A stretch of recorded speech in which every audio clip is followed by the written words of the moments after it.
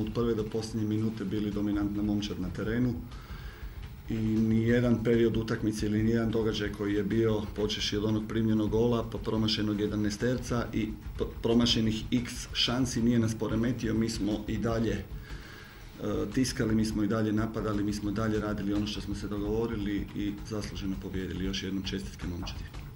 Mislim da pobjeda Dinama je potpuno zaslužena. Mogla je biti izražena i sa ozbiljnim rezultatom, ali činjenica da smo se mi trudili, da smo borili, da smo se dobro branili,